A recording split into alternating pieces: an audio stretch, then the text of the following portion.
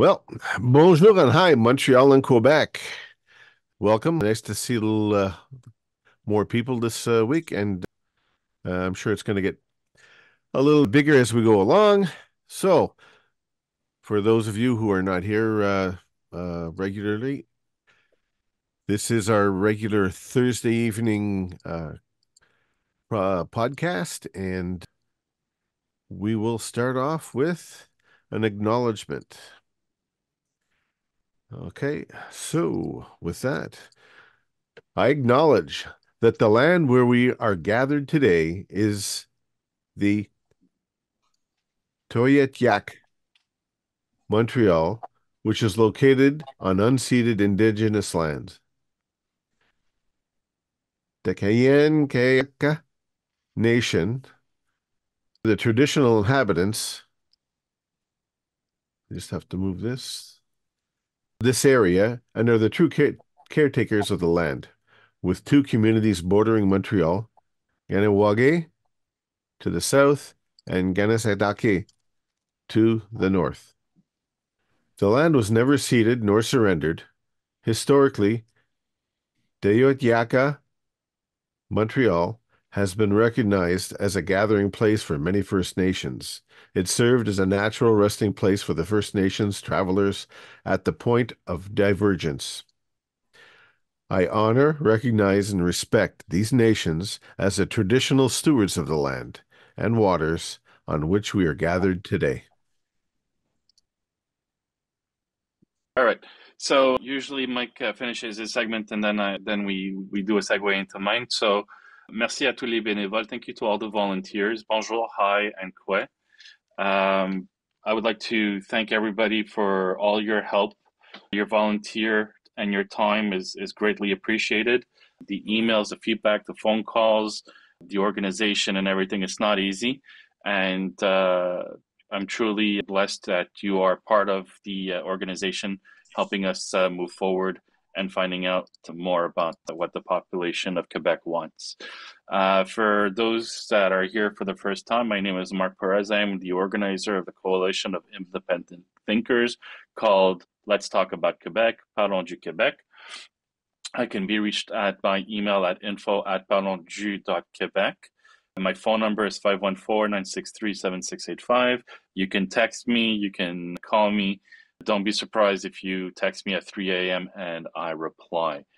So, what is Let's Talk About Quebec? It's a Montreal based think tank conducting comprehensive research, analyzing data, and cultivating innovative solutions to offer informed advice on diverse political, economics, and social issues. To reflect a broad spectrum of insights, we commit to consulting with experts across various fields and engaging the public through a structured voting system fostering rich dialogue, and incorporating diverse perspectives.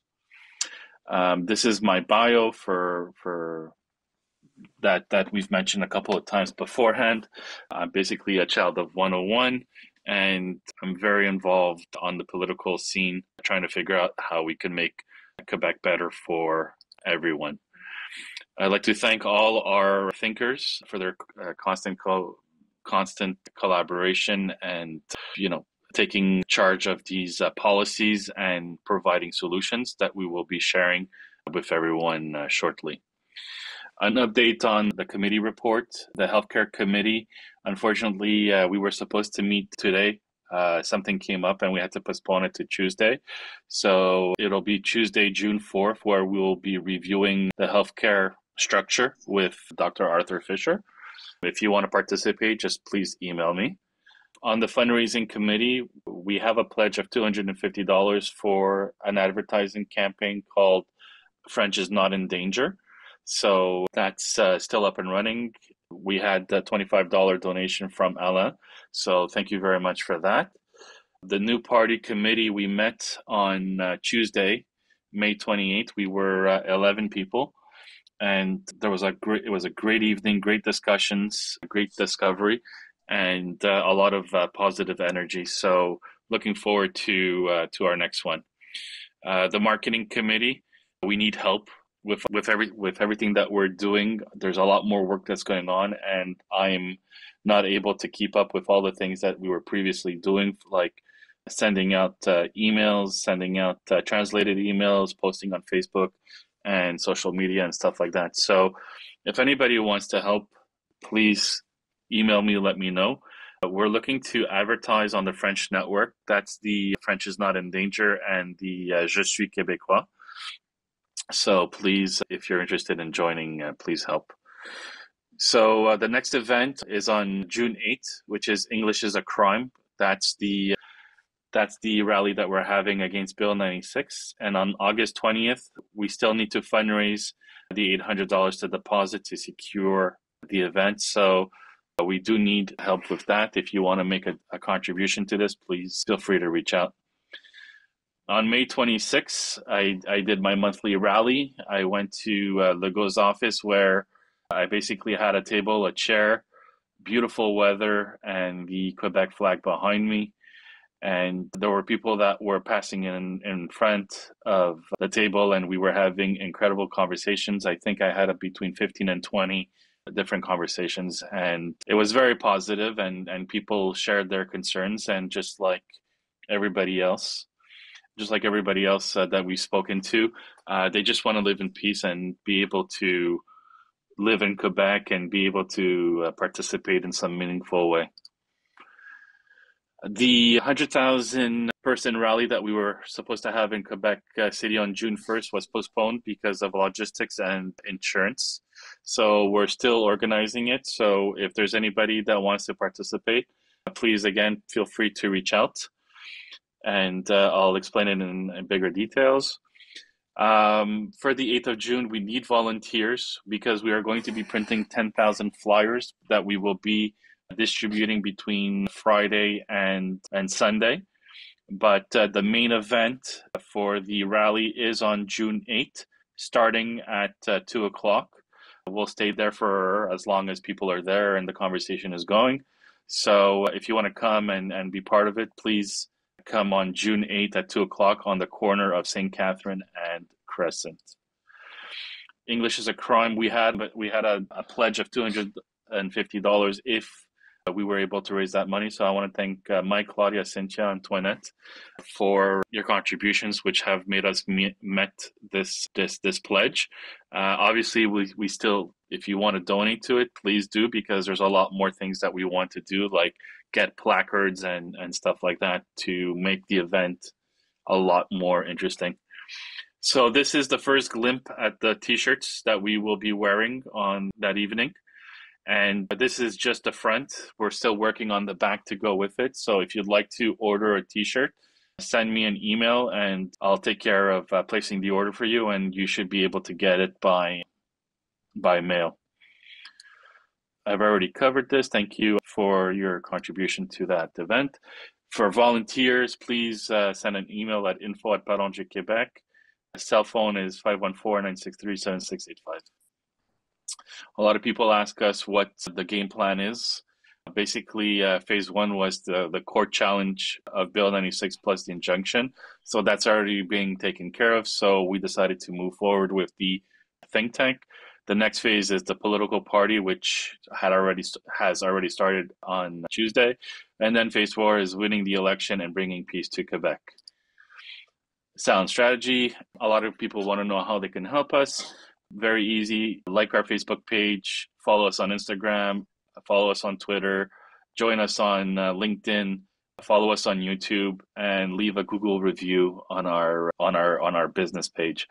The importance of that is that being on those social media, you can come on board and you could reshare the content, which is very important, and that's how visibility grows.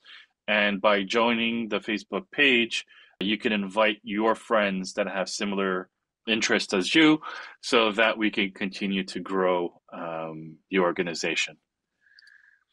So before I get to Rahul, Mike, are you here?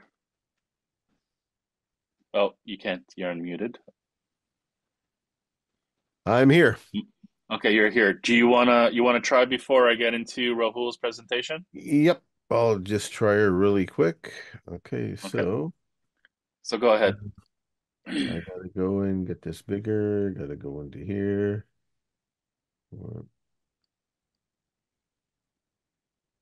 Okay. And um, Yeah, go into presentation mode. And what you go. did last time was that, but you went duplicate. Don't go duplicate. Go to No, I was Yeah, going. See, I didn't go duplicate. I didn't. Good. All right, so it's good. Go ahead. Was it, was it working? Yeah, yeah, it was working. Okay. It's not the duplicate option. Just don't click on the duplicate option. Okay. All right. So, quick uh, stories and the political leaders announced the latest shooting of the Jewish school in Montreal. So, there's been a rise in anti Semitism. Most of this is probably being stirred up with the uh, problems in the Middle East right now. That's violence. Violence is uh, not something that can be justified. And it's totally unacceptable that anything like this is, is happening. And it uh, really has to uh, stop and uh, stop now. One little thing, Montreal's going to increase the registration tax for motorists to $150. That means that you're going to go from $59 a year for the license plate in your car to $150. And that is money that's going to be used to fund the public transportation, which has a roughly $500 million deficit right now, and they're trying to raise some money that way. So I'm sure they're going to find another way to get into our pockets uh, soon enough. But public transit is still important because an awful lot of people need uh, uh, public transport to be able to get around. Weekend traffic from May 31st to the 2nd for all you people who live out uh, in in Claudia's Way. The Yellow Tort uh, closes streets around the southwest. oh, excuse me, Tour de l'Île. Excuse me, I was looking at the uh, other uh, talking uh, the Yeah. bridge. We see where we we see the black version, by the way. We see the back. So if you want to go back to full screen, you have to go back to your display settings and click on the first one. Yeah, click on Okay. that, and then I have no, no, no, no, no, no, no, no. Yeah, that one. Yeah, that's what I did before. Yeah, perfect. Okay. You're in full screen now. All right, so the weekend traffic from May 31st to June the 2nd, the Tour de l'Île closes streets around the southwest. It is going to be a nightmare for trying to get around. So if you have a chance to avoid that and stay home, all the better because it's going to be a nightmare while you're uh, in there. The PQ proposes a bill to have Quebec flag uh, displayed in every classroom and all landmarks. How about putting a little bit of money into uh, healthcare before we do that? Unsustainable trajectory. McGill expects a $91 million loss due to Quebec funding overhaul. It's it's not a not a good situation that's happening to the uh, higher education in English here in Quebec. MP advised to lock their doors and avoid meetings as death threats skyrocket. So uh, uh, MPs have there's more threats against them where there were was it in uh, 2019 they had uh, what was it? Eight. And now they have 530 in 2023 so they have really gone up an awful lot. Again violence is not a proper thing and it's a way that uh, people um, uh, subvert uh, democracy and we all have to denounce that okay please don't forget to mark in your calendars for June the 8th which is English is not a crime um or excuse me, English is a crime. It is a Uh, crime. Yeah, Yes, that's yeah, the yeah. whole. Uh, I'm so used to saying English is not a crime when I'm when I'm arguing with people. So come all, come one, come all. Please come and support us as we go in and we uh, go through the crowds and inform people and uh, get them to understand what's going on over here. And uh, that embarrasses the uh, government, which is a good thing. Ladies and gentlemen, mesdames et messieurs, Mark Perez. awesome.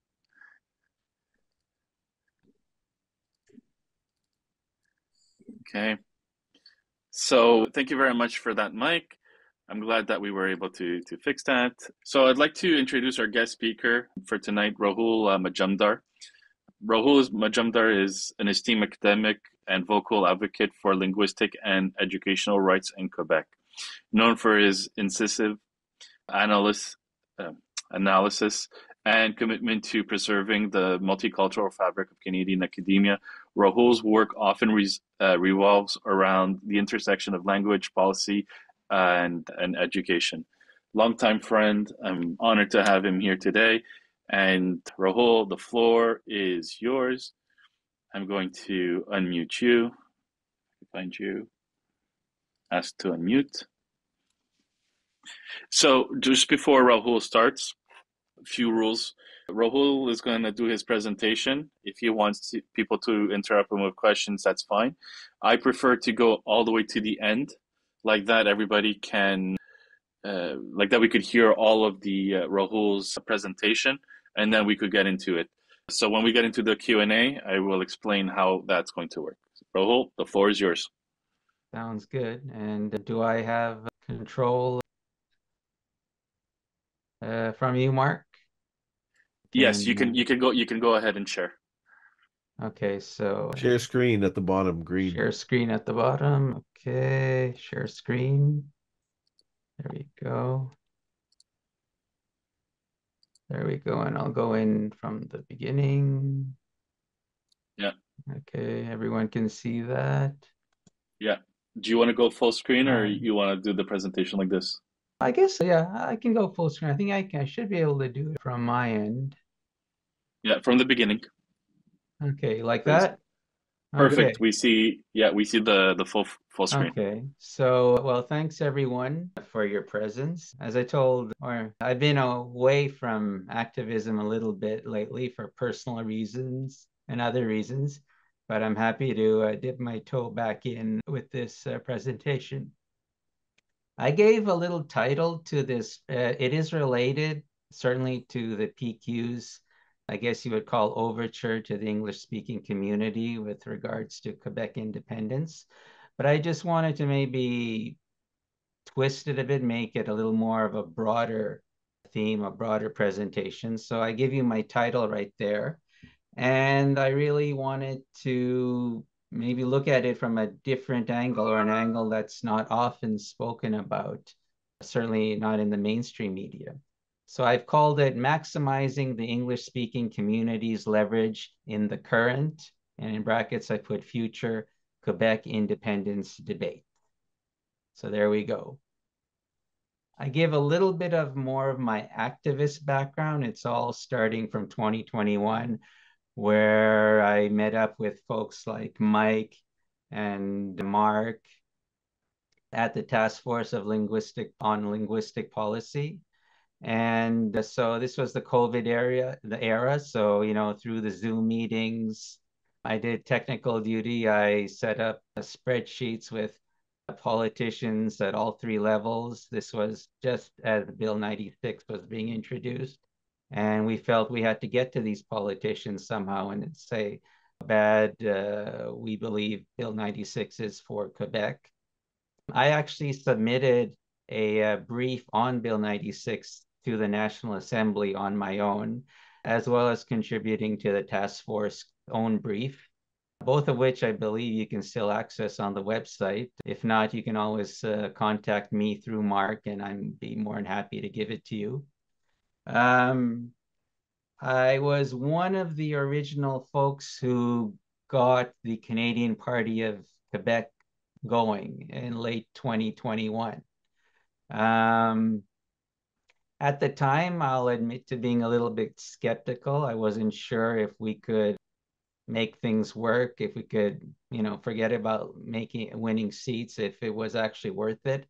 But considering the situation at the time with Bill 96, with Bill C-13 at the federal level, or at that time, I guess it was Bill C-32 still, I said, okay, I'm going to go for it. And so I did go for it. I became the chief policy advisor with the Canadian Party of Quebec. Uh, we produced a 183 page document that unfortunately wasn't used very much during the campaign. But anyway, 32 people. I'm very proud of that achievement.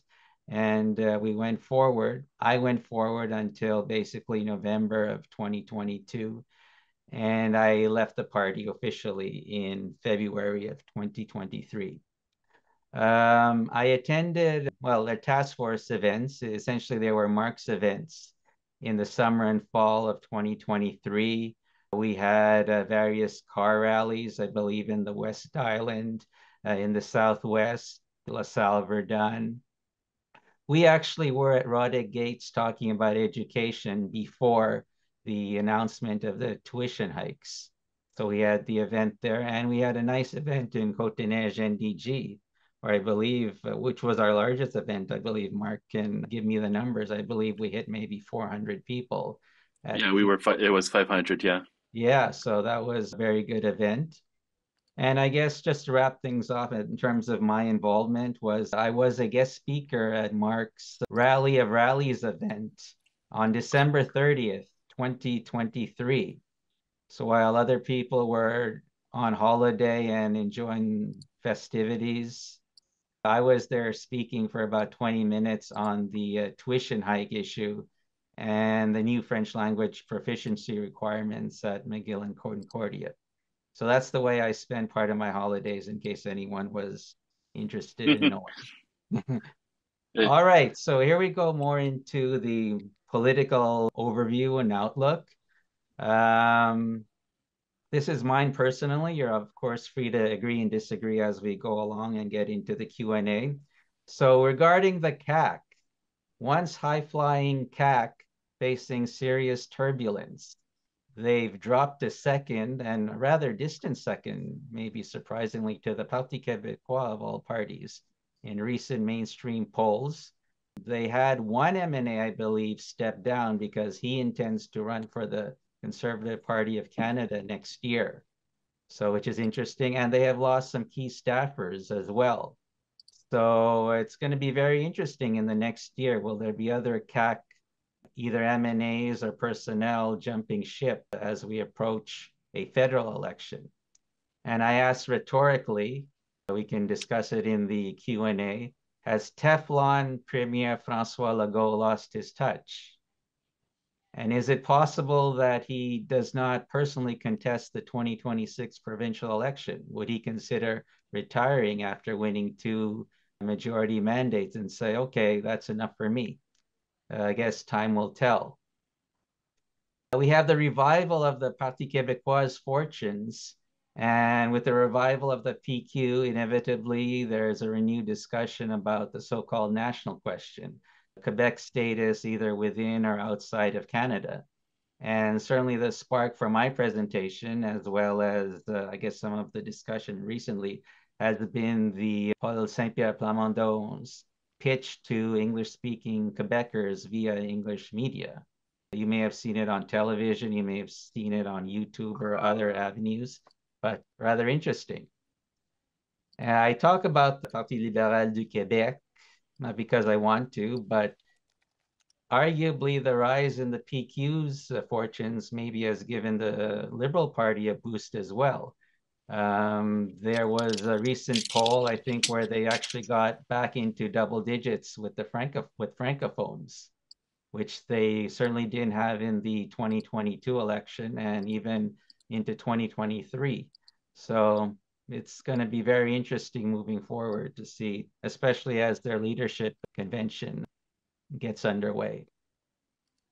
Quebec Solidaire they started, I believe, in the mid 2000s with nothing. It took them three elections, I think, to win a seat, but they finally got official party status uh, last year by winning the uh, by election in uh, Saint Henri Saint Anne.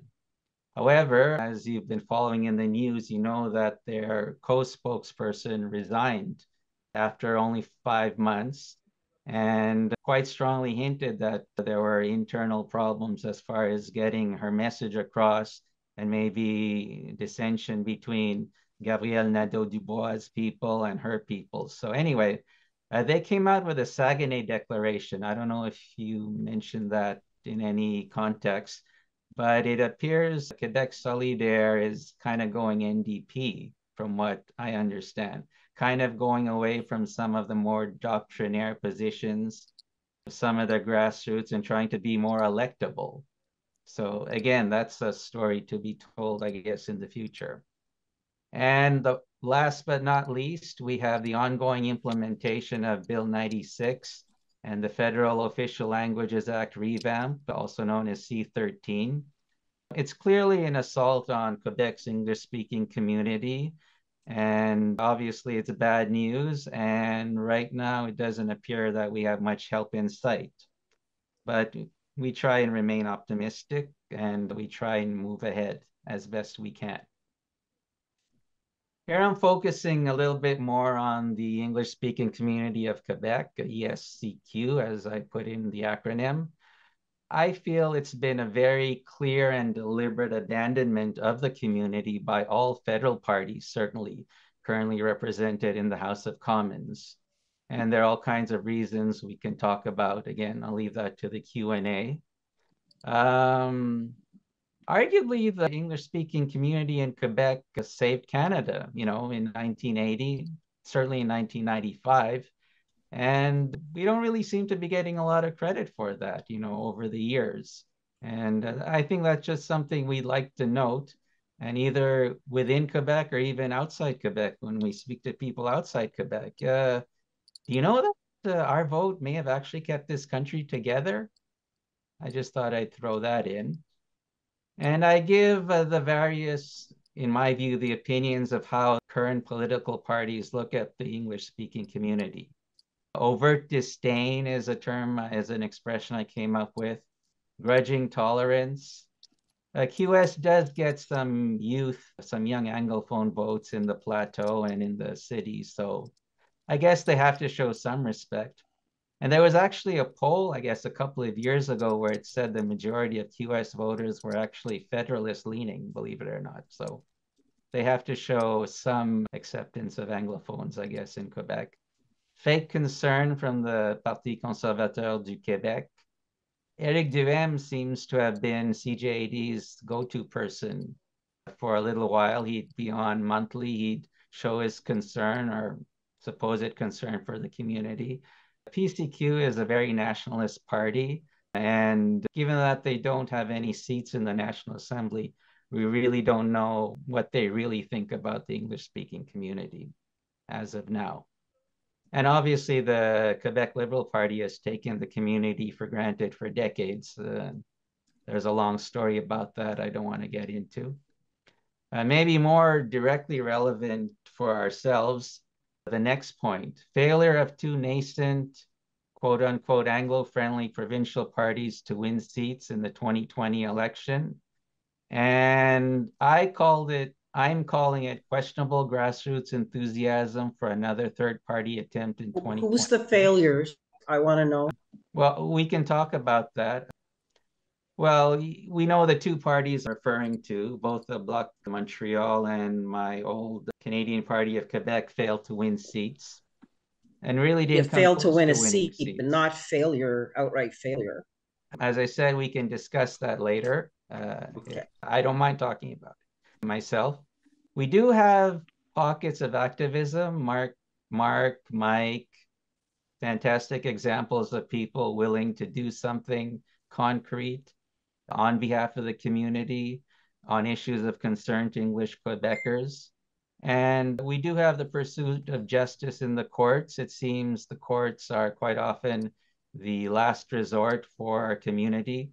So obviously, we are challenging Bill 96, Bill 40 in terms of the English school boards. They still exist, even though Premier Legault has wanted to get rid of them, and I suspect would still like to get rid of them. And my final point here is do we risk going back to the bad old days of the PQ versus Liberal Party, Federalist versus Separatist dichotomy? Um, Premier Legault arguably won his first mandate by saying we want to get rid of this Federalist Separatist debate. He offered the 10 year moratorium on referendums, which he actually carried out. So credit to him for that. But if the PQ stays high in the polls, does the Quebec Liberal Party benefit from that screen, if you will? So this question again, I don't want any feedback right now. We can talk about it if this is a question that you'd like to answer. Is there a better, more meaningful way for the English speaking community of Quebec to participate in the current and or future debate on Quebec independence. Maybe something to think about. And uh, from the point of view of the English speaking community, I mean, what do we have to offer as a community? Well, if you go by not necessarily the census of 2021, which is already out of date, but We are about 1.4 million people out of a population of 9 million in Quebec. So roughly 15% of the population. Significant if you compare us to Atlantic provinces, a larger population than all four Atlantic provinces, as well as Manitoba and Saskatchewan. We have a 22, uh, 260 year old presence in Quebec, and we have accomplishments in a whole range of fields. To discuss it would take probably another three, four hour presentation. I won't do that. Significant and growing levels of French fluency in both Montreal and the rest of Quebec mm. among mother tongue Anglophones and ethnic minorities, allophones, if you prefer whose first official language spoken is English. I think this is pretty clear. Again, if people want to dispute it, uh, we can always discuss it. But I think the Anglophone community, the English speaking community as a whole, has shown, for the most part, you always have exceptions, a willingness to learn French, to work in French, and certainly to encourage the use of French in their circles. The English community in Quebec certainly was a driving force that made Montreal the preeminent metropolis in Canada for about 150 years. Uh, you can choose your own start date and end date of those 150 years. I think it's pretty clear in that sense. And we always retain our ability to act as Quebec's window to English speaking North America and most of the world.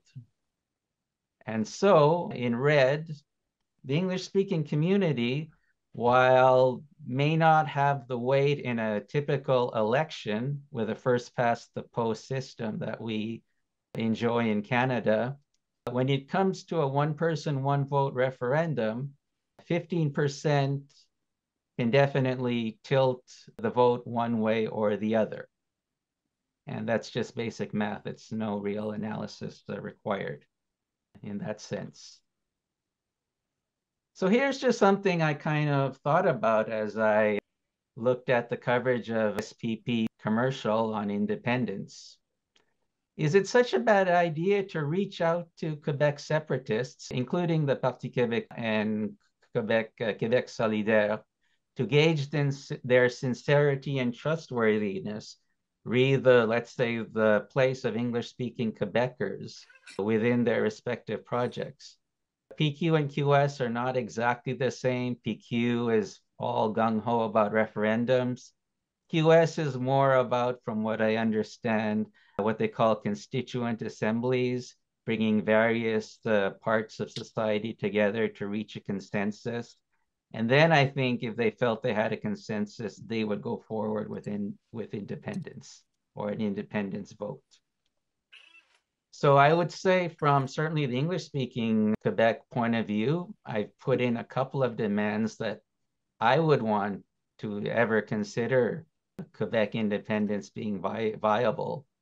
The legal recognition of the English speaking community's historical role in building Quebec formal recognition of the importance of English-speaking Quebecers in a future independent country, inviolable entrenchment of rights, and I gave the examples that we're all familiar with, in any future Quebec constitution without being subject to a derogatory, i.e. notwithstanding clause, which has been a topic of conversation in other contexts in recent times and as a demand, a declaration of Montreal as an officially bilingual state territory within an independent Quebec. So these are demands. So what could the English-speaking community of Quebec offer in exchange for the fulfillment of these demands? Um, well, open what I call declarative support for Quebec's exit from Canada, opposition to all partitionist and 11th province movements, as well as other attempts to remove Montreal from Quebec in the aftermath of a we or yes referendum vote. And uh, I put a note in that Indigenous peoples with the inherent right of self determination will decide their own futures via negotiation with the government of Canada and the government of Quebec. And so I think we've come basically to the end. And I will end off with another question. At this point in time, what do English speaking Quebecers have to lose? And so with that, I will return control to Mark. Thank you for your attention, and I look forward to a lively discussion. Thank you very much, uh, Rahul. If you can just start by stopping the sharing of your screen. Okay, we will do that. I will do that now. Okay. So. There we go. Perfect. I think Are I you good, Mark? No, your your screen is still sharing. Still sharing? Okay, hold on. Here, I think I could do that. Okay, Yeah, I we're can. Yeah, I think I can do it. All right. Hold on a sec. I think. No, I, I. I I, We're yeah, I took it. Okay, I, I very took care good. of it on my side. Okay, so the way that the conversation is going to go on for we're for now, we're going to enter into the Q and A section. I've given permission for everybody to unmute themselves, so you're you're if you could unmute yourself. The way to ask a question is by raising your hand using the reaction button, which is on the bottom. If you click on the reaction, you click on raise hand, you're going to see on the top left that your hand is raised. If uh, you can't find it or you want to ask a question and, and you can't get to it, just uh, write in the chat that you have a question and I'll try to follow the uh, the, the the questions and who in what order. I'm going to put a timer of one minute. So if you can ask the question within a one minute time frame, and because you know Rahul did a presentation, there's me and there's Mike. If you have any questions, just specify towards who you're asking the question to, and just try to keep it to one minute. And then the person's going to answer. And if you have a rebuttal, then there's going to be another one minute. And then after that, we're going to go to the next person. So if you want your question to be answered again, you'll just have to wait for your turn after the queue. We did this last time and we lasted two hours. Remember to stay courteous and respectful. Uh, we're all here to discuss. That's the whole point of the think tank. So I see that the first person that they have the hand raised is Mike Crawley.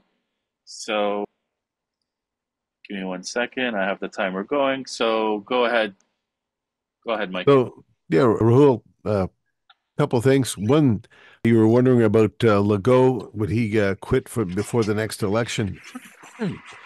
Legault comes from the PQ, and the PQ have a big habit of uh, eating their own leaders within a short amount of time eventually. So that's one thing I think. The other thing is you're wondering about, you know, a special status for us within Quebec.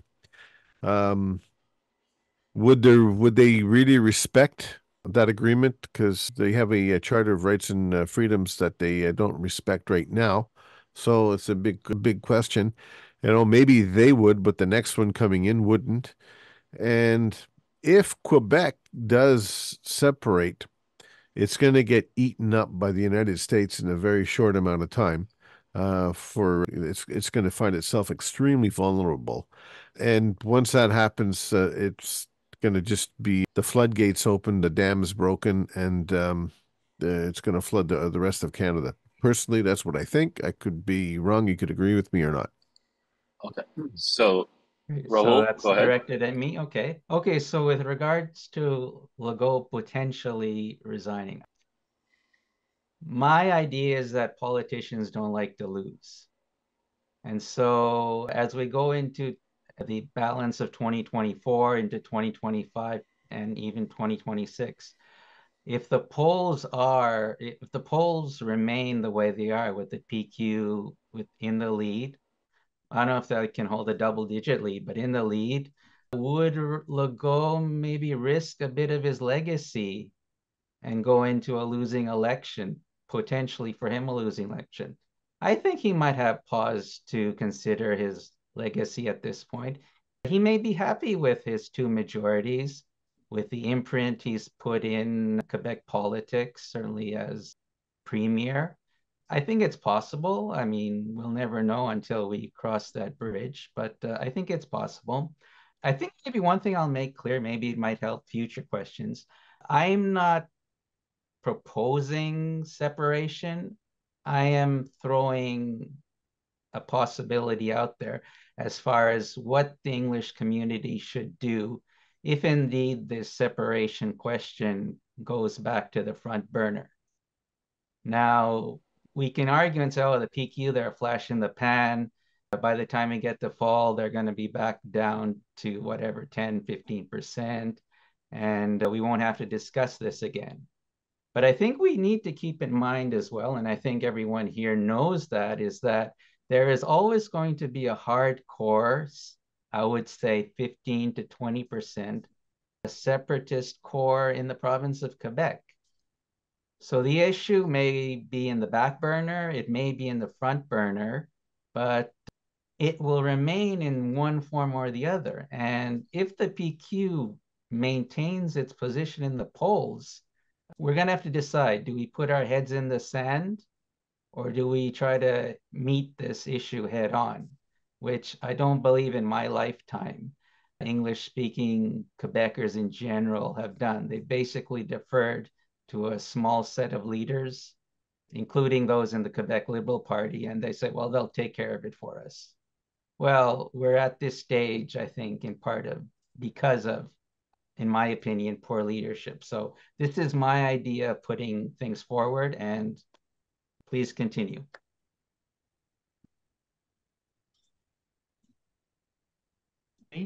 Yeah, anyone? Yeah, Alan, Alan sorry, I was on mute. Do you hear anything in the background? No. My, I have the AC that's right next to me. Just, if you don't hear it, then I, I won't mute myself. No? Okay. No, we don't hear okay. Perfect. So, Alain, go ahead. Okay. If there's a 15 to 20% hardcore separatists in the province, I'm part of the 15 to 20% hardcore federalists in the part in the province. I will never join the PQ. I will never vote for separation. I will not get into your discussion, Rahul, because for me it's a non-starter. I will never participate in the separation movement. For me, it's a no-go. And uh, I've been at this now since 1974, 75, when Robert Bourassa came out with his Bill 22. Um, I, I, think I told the story before. I was at Howard S. Billings, and we were called to the auditorium, and the principal basically told us, look to your left, look to your right. Next year, one of the three of you will not be here. Uh, and and and I've been fighting this fight ever since. Um, sometimes with less knowledge, uh, but I am pretty much equipped with knowledge now. Yeah, and here. I would never, never, ever take part in or participate in the separation of Quebec. Uh, so for me, that this this whole what have we got to lose? I mean, what have we got to gain? If the question is not what do we have to lose, because we have got a lot to lose if we join the Quebec Separation Party.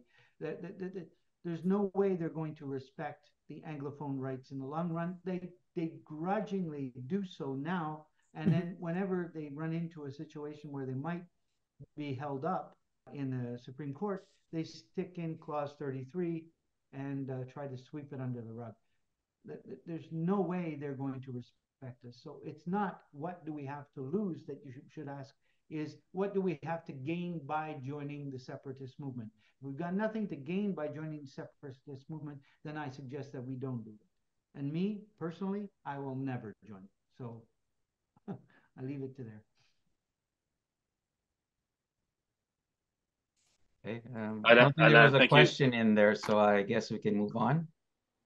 The question was reversed. It's instead of what we have to lose, it's what we have to gain. And I think that the way that I, I understood Alain's preamble and, and the question was in there, the question is that basically, if the PQ are going to be doing another referendum, and this time it does look like there's going to be a majority, and the fact that PSPP is coming to us to to to participate in the referendum and and to help win, and the question is, right now, we saw that the federal government didn't come and help us with Bill 96, 21, 40, 23, 15, and all the other ones.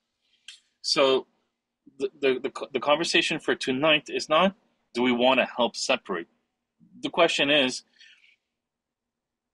should we negotiate what we want out of Quebec? Because let's say Quebec separates and, and they win their independence, it's only Quebec and the federal government that could have a conversation about what's going to happen to Quebec. They're going to have to talk about partitioning the land. They're going to have to talk about the railway. They're going to have to talk about the waters. They're going to have to talk about the, the St. Lawrence River. So th- the question is, should the Anglo- Anglophone community get be ready and say, well, if you really want to separate, this is the list of our demands and this is what has to be respected. And when the federal government negotiates with the, the, the Quebec government, you know, that's basically what the federal government has to has to apply and I don't know if there's any legal recourses at the UN for this, but I think that's what we're talking about now because with uh, partition, we found that we can't do partition pre referendum and even post referendum. We're still looking for a loophole and a solution, but yes. We can, we can partition post referendum. We can do the same thing they did to Quebec, that Quebec did to Canada. We can do the same thing to Quebec. So uh, this, this, I heard that uh, you, what you were saying about uh, um, being impossible to set to partition post referendum. Post referendum, the world is wide open, my friend. The world is wide open. And post referendum, who knows what's going to happen? And I can tell you, Rahul, right now, do not place any trust, any hope of trust in the PQ or the QS if they win a referendum and they separate. There's no way they're going to respect us. They don't even respect us now. So why would they respect us after they get a separation vote? Now, it's Okay, I still don't have a question, but I'd like to say a couple of things. Number one, I the whole idea of this presentation is to open dialogue. And I think I have in my slides is that we want to have dialogue to gauge the sincerity of either the PQ or Quebec Solidaire or whoever, whatever other groups come up. And then if they say, oh, look, these guys, they're BSing us, it's it's pointless to talk to them. If they want to win a referendum, they're going to need, well, I assume 50% plus one, unless there's other criteria. They can count the same way we can count. And at some point, someone in the separatist camp is going to say, geez, you know, we're going to need some of those English speaking votes. And if that's the case, then we should be ready. Okay, what would we want? What would we want? You know, forget about, you know, Canada, Quebec as people. What does the English speaking community want in a society that would make them happy? Now, I put in a couple of very general demands, but obviously, if this ever became serious, you would need people to actually do a decent negotiation. Okay, we want constitutional protections we want Montreal as an officially bilingual city. Mark just said that he's spoken in his last last week's show. He spoke to a constitution lawyer who basically nixed the idea of partition. Now maybe that you'll find a constitution lawyer who says yes, you can partition. You know, I, I don't want to get into that debate. My debate is the dialogue. And what I fear is that we're going to be left on the sidelines if this debate comes to the front burner. Right now, it's kind of still back burner, but the simmer has begun. And so I'll say what I said during my presentation. Uh, do you put your head in the sand and assume the separation debate's going to go away on its own? Or do you want to be proactive and say, look, the issue's out there, we need to deal with it? Thank That's you very much. Uh, Thank you very much, Rahul. Next is Claudia, and after Claudia is Cynthia. She's having trouble raising her hand, but she messaged that she she would like to go next. So after Claudia, you're on mute, uh, Claudia. My first, before I ask my question, I want to say something that it's not a given that they're going to win the next referendum. I disagree with you, Mark, and I disagree vehemently. All right? mm-hmm. There's only a 33% support for independence in Quebec. And I I find that very presumptuous to say that comment.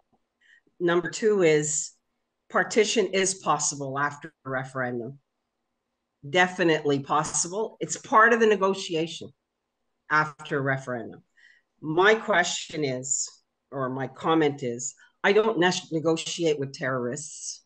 Okay. These people have never, ever had a benevolent bone towards us. And my country is Canada, and I'm not the only Anglophone. There are Francophones that feel the same way. This is my country. So, what do we got to lose? My integrity. Anyway, I, I I'm sorry you I get continue. emotional about these things, but I do. Claudia, you could continue. Don't mind the timer.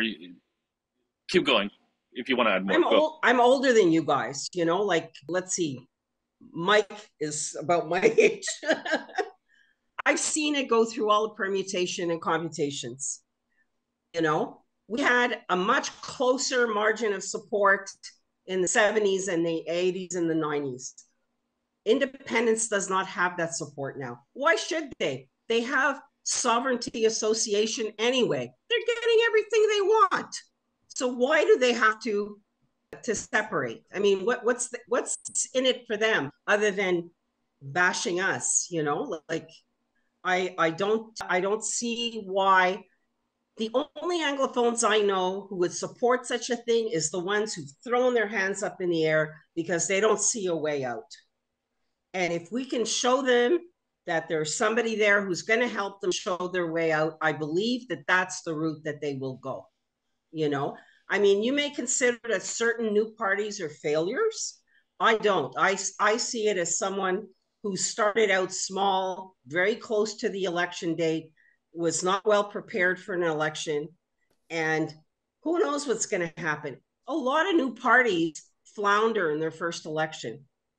You know, they they don't flounder continuously. There are surprises in elections all the time. You know, who would have thought the NDP would win so many seats in Quebec, right? It's it's I find that very presumptuous. You know, I, I remember standing in line during the 80 uh, referendum and the 95 referendum, and we thought that you know we were doomed, and and we weren't. I mean, we might have gotten by by the skin of our teeth, but in those days, support for independence was much greater. The population is much younger now. They don't care about this stuff. You know, they, they want like as as what's his name says, Legault says, kids want to speak English. That is his biggest problem is they want to speak English. You know, you go to a high school, you go to elementary school. That's why they the management may get on their case about it. But bottom line is the kids want YouTube, they want Netflix, they want this, they want that. And you know what? You're not going to be able to tell them what they have to do forever. They're going to become adults or they're already there. And so I don't, I really resent that presumptuous. I just don't, and I don't trust these people. I don't trust them. Why would we expect anything else from people who have shown us repeatedly that they don't care about us? Exactly. You know, it doesn't make sense. You know, I don't okay. believe in a benevolent, there is no benevolent separatist. There is none. Okay. They will say what they have to say to get votes, just like Plamondon when he was going through Ville-Émard and knocking on telephone doors, including my mother's, and telling everybody, you know, the referendum, it may not happen for a long time and whatever. This happened during the by election when they were trying to replace Longlad's seat. Okay. And Plamondon said that. And now he comes out of his bloody convention, guns blazing, that he wants to do a referendum you know what? I wasn't born yesterday, and I don't believe in that crap. Sorry, but it's okay. So it's all good. So okay. You don't It's have to raise your hand. I will. No, no, no, no. I, No. I, I, I'd like to. Uh, okay. So sorry, just give me one second, Cynthia. Sorry.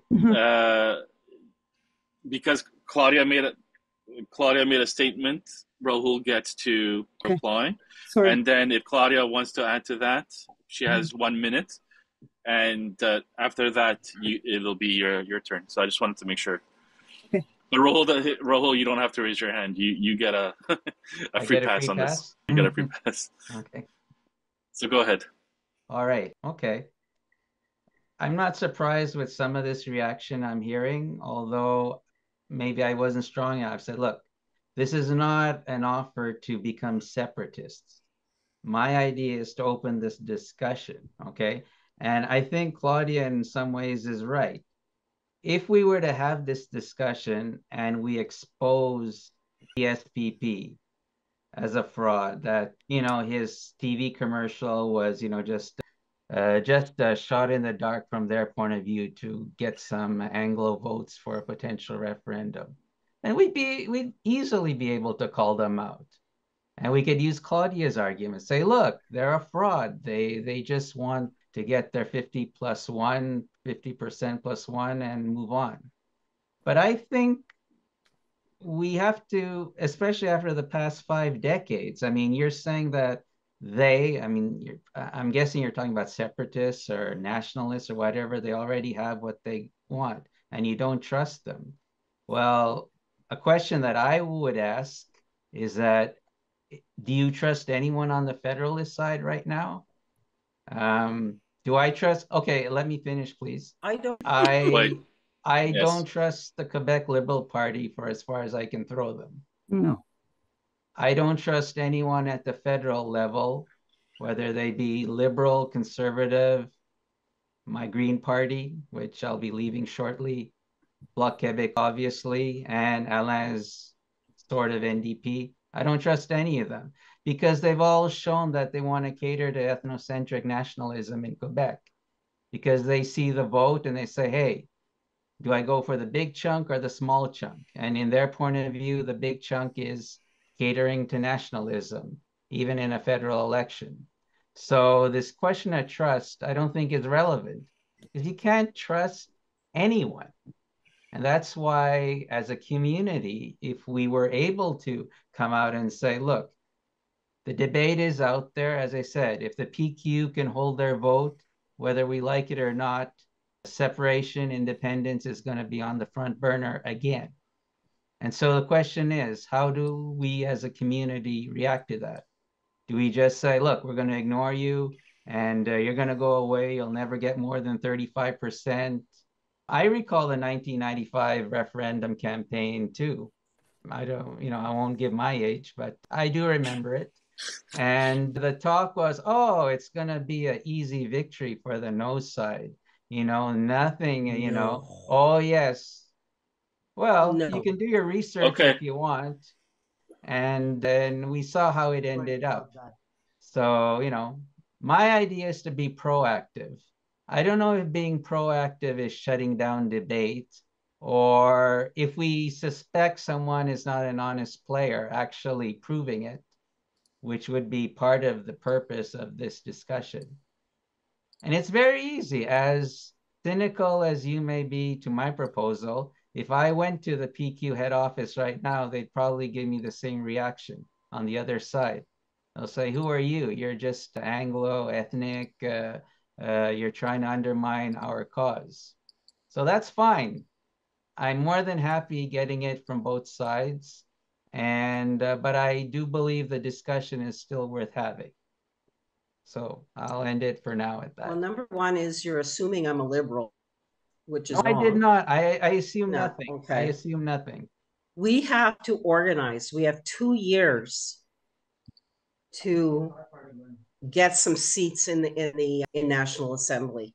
We don't have to go, you know, the PQ and and the liberals have both put in egregious egregious language legislation and we don't have to kowtow to them and hope that they throw us a bone you know we we build our own party and and it's going to be very difficult but i personally do not believe that uh, that they're they've got a chance of winning the next referendum. They don't have it. You know, allophones don't come to Canada to get Quebec to separate from the country.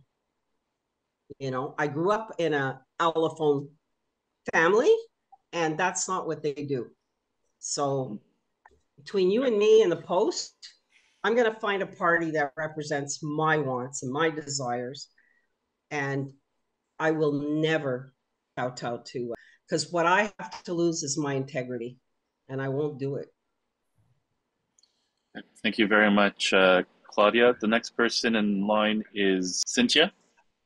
Hi, I I echo Claudia's thoughts. I I ha, I I'm of of the opinion that the CAQ, they were very very very smart and they have effectively separated Quebec from Canada without actually separating. They have their cake they ha- and they're eating it too. Uh, they're eating it too.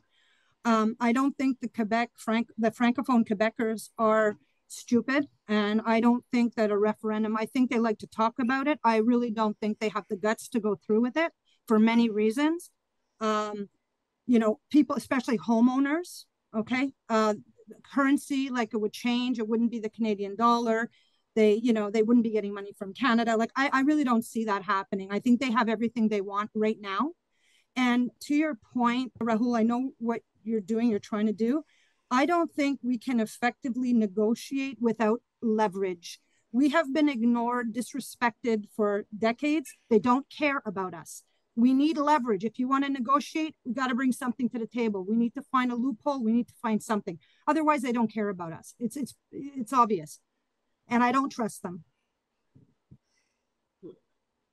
Rahul. Okay, can I answer? Okay. Oh, yes. I, I, I think that was that was the title of my speech about leverage.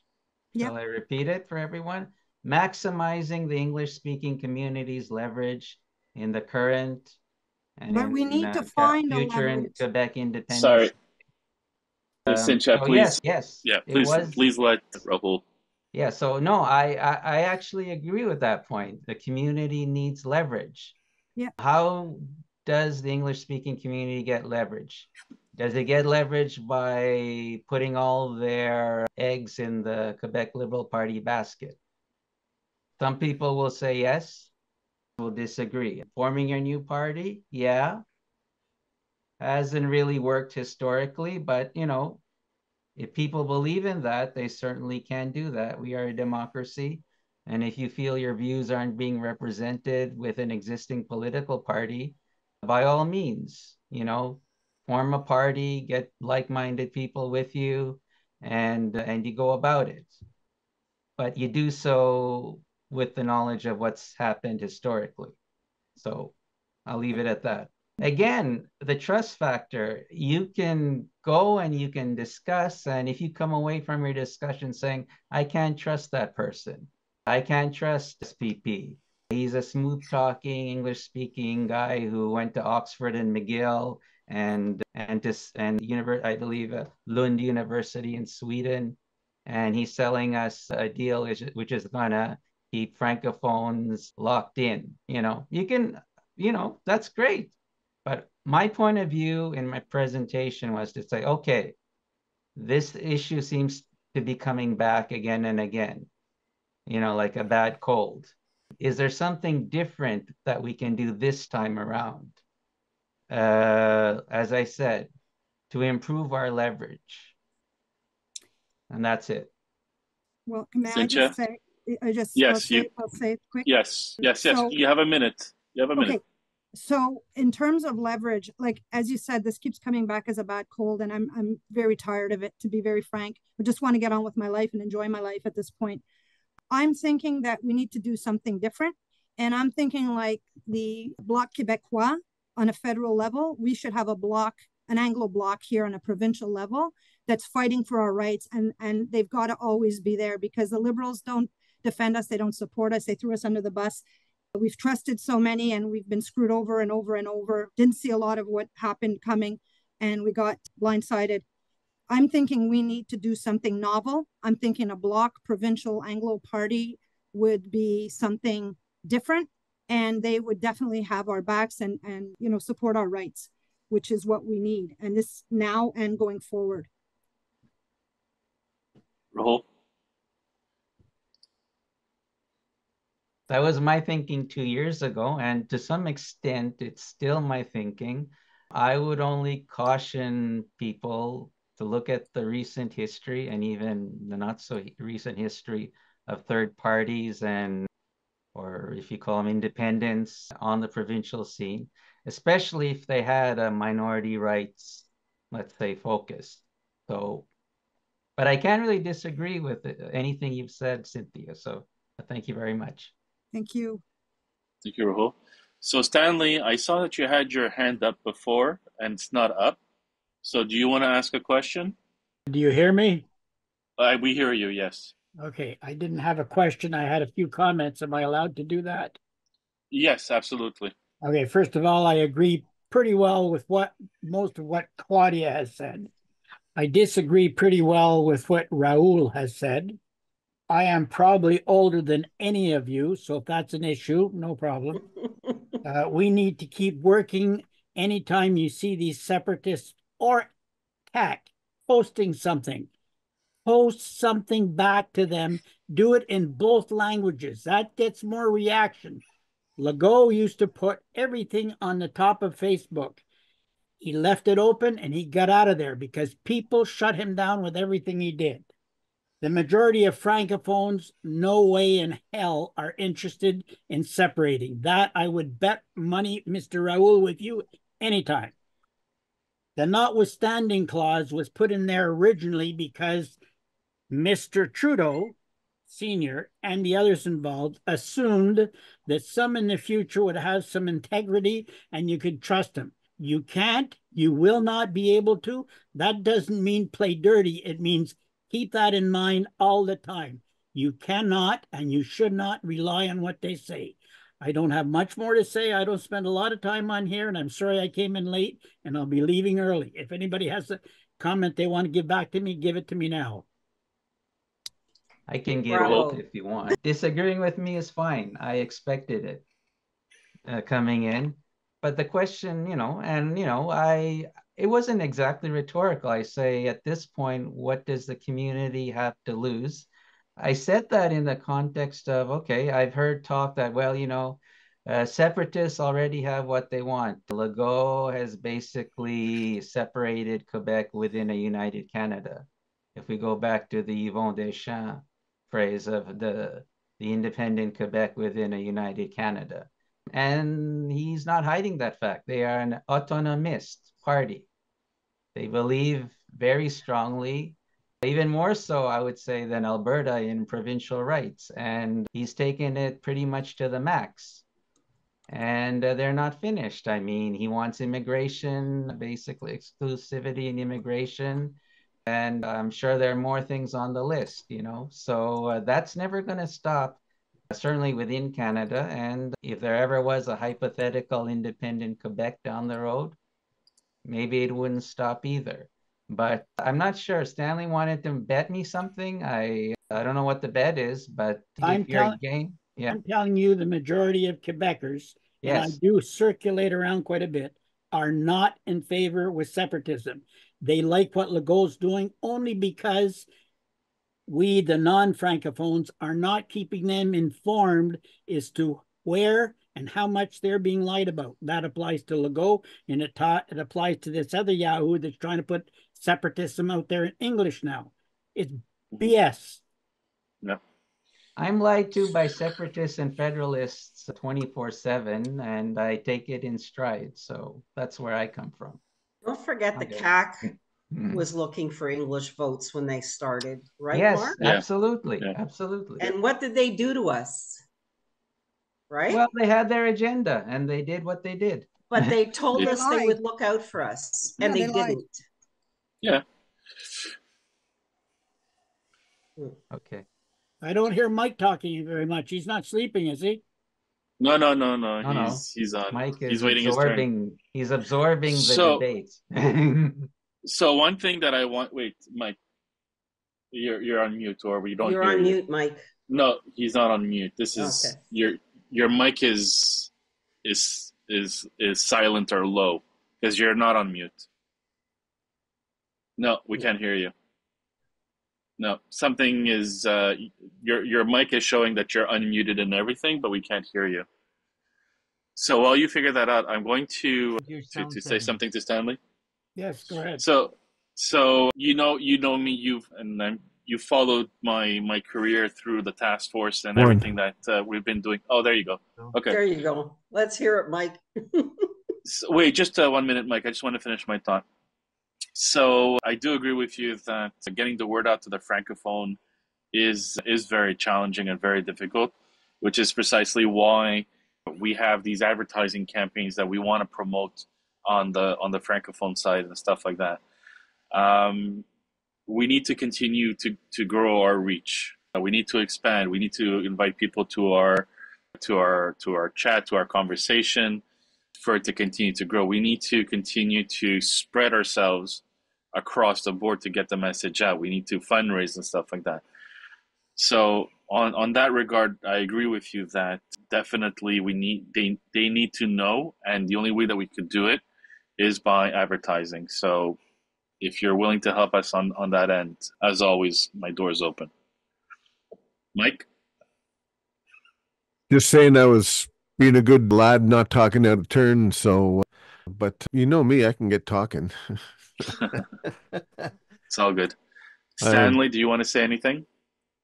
No, I mean, with regards to what you just finished saying, Mark, as far as I'm concerned, something that works is those pins against 96.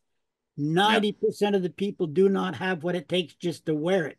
I wear it 80% of the time, and you'd be surprised with the reaction you've got. And I've never had anybody that got riled enough that I felt like slapping him in the face. They are Well, you're gonna have to add uh, new ones to your collection because we just designed a new one uh, today and it was Yeah. was pretty nice. you got to carry the little paper that explains what it is, though, because 90% of them don't have a clue. So speaking about that, I, I guess you missed my few slides there, but on June 8th, we are printing 10,000 flyers and we'll be giving them across Tuesday, Friday, Saturday, and Sunday. Mike, did you have something to say? Yes, Mike, please. okay, so just to be a little more, a little clearer. So uh, the pamphlets are going to be uh, uh, handed out at the Grand Prix weekend. So downtown, and uh, we're going to be handing them out to mostly tourists who are down there. And uh, nothing gets the government to start uh, backpedaling on on eliminating Anglo rights as uh, uh, rubbing their face in the dirt in front of the uh, the world. Um, so if you if you can uh, make it out, it would be fun to see you. Uh, I don't know what you're up to there on the eighth, but be nice. You can wear. we- We're going to give you extra no ninety six pins too. No, Oh, I, new I ones. Think, I think I'm at a funeral in the West Island, but I'm not sure. Well, Oh, oh just Oh, don't boy. have too much time at the wake and come join us.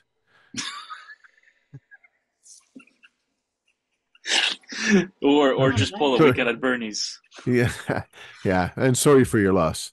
No problem. Yeah, condolences. You know, I'm going to have to leave you people. I missed the first part of this, Mark. Yeah. Uh, I got in a little late. So is this, this was recorded? It was recorded, and as soon as I uh, put the watermark on it, it's it's gonna it's gonna be sent out. I'll meet, I'll be meeting with one of your friends tomorrow. Gra- what do they call him? Papa, Grandpa, something? He's on the radio down here all the time. Uh, I can't even think of B Santori. Oh, B Centauri, yes. He just met with some of you guys. He just met with some of you guys last weekend, I believe. Yeah, whoever went to to to Irwin's Irwin's meeting. Yeah, I was coincidentally I was having the the rally in front of Legault's office, but I I'm looking for people who actually went. Yeah. Well, anyway, I'm gonna have to leave, gentlemen, ladies. Sorry. So Thank Thank you, you. Stan. Stanley, always a You're welcome. pleasure. how's the witch? Always a pleasure. Oh, the pleasure is mine, eh? Of course it is. Thank you. Of course it is. Stanley. Bye. Bye. So pretty much it's what time is it? Ten thirty. Nine thirty. Okay. So it's nine thirty, and nobody has their hands raised. So if somebody has a question, Norberto, do you have something to ask? Do you have Oh, a question Roberto. for us, Norberto? Hi, good evening. Sorry about my voice. I still have my sickness, but I'm okay. Uh, Mark, can I rebroadcast this if you, if it is okay for you? I'm sorry, say that again. Uh, can I rebroadcast it to? Ab- absolutely. Yes, So- absolutely. Can you send me a copy of it? Thank you very much. Yes, Thank you, Mark. my pleasure. Hi to Allen. Hmm. Thank you, See Paul. you tomorrow night, Norberto. Are you going to be at the induction? I don't know. It depends. Get healthy. So, uh, Tony, I know Tony tried to raise his hand. So, Tony, if you'd like to, you could unmute and the floor is yours. Oh, you're on mute. You're on mute. You're on mute. Hi. Hi. I have a question I'd like to ask everyone. Sure. What is more important to you? The concept of Canada or the concept of individual rights? Raise your hand. It's a conundrum. That's a conundrum. I, I mean, I think that they go hand in hand, and uh, we're supposed to have Canada with rights. And so I'm, you know, Canada, the concept of Canada is very important to me, but with it come the rights. I mean, I, I don't, they're in, inalienable. It, it, we're, we shouldn't be, be even fathoming that, that, that thought. Uh, something happened to me 35 years ago. A friend of mine gave me three or four photocopies from the Confederation debates. And the fathers of Confederation were very wise. There was no province of Quebec prior to 1867. It was created with the creation of Canada. So there was a concern on the part of numerous Anglophone fathers of Confederation that there would be tyranny of the majority. Would the rights of the soon to be minority Anglophones of Quebec be violated by the majority? And the promise was given that if that ever happened, and it was outrageous to even think that this would happen, if that ever happened, the federal government had powers, numerous powers in the BNA Act that survive today, that the federal government would come in and veto such rights violating Yeah. legislation by a province. Uh, although those veto powers have been used numerous times up until about 1944 in Canada, not once were they ever used to protect the minority rights of uh, Anglophones in Quebec or Francophones in other provinces outside of Quebec. So our rights are not inalienable, unfortunately, according to how the federal government has performed, and they violated that sacred promise and covenant of, of confederation. And the final thing I'll say on that is, and his name escapes me at the moment, but the professor who first introduced the concept prior to the charter's adoption of the concept of the notwithstanding clause, at the same time said, look, he says, don't worry about uh, the notwithstanding clause being used by a provincial government to violate rights because we have the safeguard of the veto power, the disallowance power, and other powers in the Constitution. Whereas if that was ever done, the federal government would step in and notwithstand the notwithstanding clause invoked by a provincial government.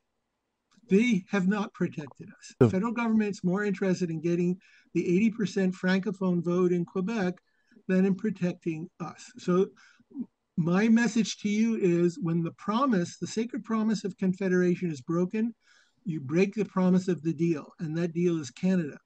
We must do what Rahul Rahul has suggested and think about other alliances. And my question about what's more important, minority rights and individual rights or the concept of Canada? Canada is a great concept, but there's more there's other concepts more important and one of those is individual rights and minority rights and i suggest to you that we should consider that when approaching the separatists if indeed they're inviting us to speak to them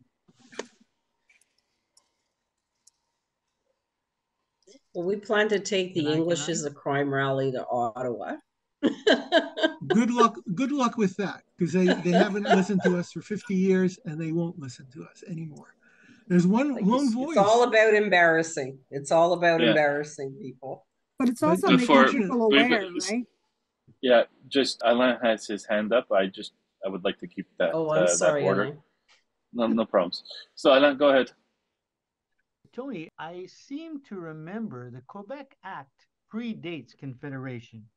Quebec Act was put into being by Guy de Carleton, Lord of Dorchester, when the Ang- when the English took over the province of Quebec or New France, and it was signed by George III, King George III. So there was a province of Quebec, and there was thought about Quebec before Confederation, way before Confederation. I think your history is wrong. The professor who told you that put in the notwithstanding clause and said to the others that there was nothing to worry about was, well, in my opinion, very naive because even at the time of the passing of the 1982 Bill of Rights, the the PQ was already just chomping at the bit to to use the notwithstanding clause that was put into the confederation or the the constitutional document in the hopes of attracting them to sign on. So they they put this in in the hopes of attracting them and they they they said okay put it in and they put it in and then they just said okay we're not signing anyways. So um I think that there's there's there's some stuff missing in your information. A lot, I think a lot. So uh, I'd like to leave it at respond if I may. I'd like to respond. I'm a respond if I historical. I study history and human uh, rights Tony. on Yeah. an ongoing basis continuously. So Okay, I'm- the geo the geopolitical entity that immediately preceded Confederation was something called the United Province of Upper and Lower Canada. It was a, unified state uh, government that was governed by majority vote. So that's the reality that uh, preceded immediately preceded Confederation. As for George III, I just think it's interesting to note that if you read the United States Declaration of Independence, which is a collection of complaints by those separatists in the United States wanting their own country, it was a list of complaints. One of the complaints is that a neighboring province, which was a reference to Lower Canada, which was Quebec, that a lower uh, the neighboring province was uh, removed of its common law. So that I think, uh, and you can correct me if I'm wrong, that was a reference to the Quebec Act. So certainly our American friends were very unhappy about uh, the Quebec Act, but I just mentioned that uh, as an aside. Quebec Act what it guaranteed was it guaranteed that the Sorry, um, Alain. yeah. Is there any way you could increase the volume of your your mic? Because I, I hear everybody's trying to, and I'm my using- my I'm- speak. I'll speak louder. I'll speak louder. How's that? Because I'm using the mic from the Better. from the computer. Yeah, It sounds better. So the Quebec Act guaranteed the French language, it guaranteed Roman Catholic uh, religion, and it guaranteed uh, control of, of education, and it guaranteed also the civil code, the Napoleonic civil code for the province of Quebec or Lower Canada, however you want to name it. But the it, the act is called the Quebec Act, so they actually knew about Quebec and they knew that it would be a province, or they had intentions to make it a province. I think that what happened afterwards was some got scared and they said, okay, let's unite these two so that we don't have the French taking over. Because at the time, the French were the majority in Canada. So the Anglos were the minority. So they, they, they wanted to make their minority stronger. So that's when they joined the two provinces together and called it Canada, the province of Canada.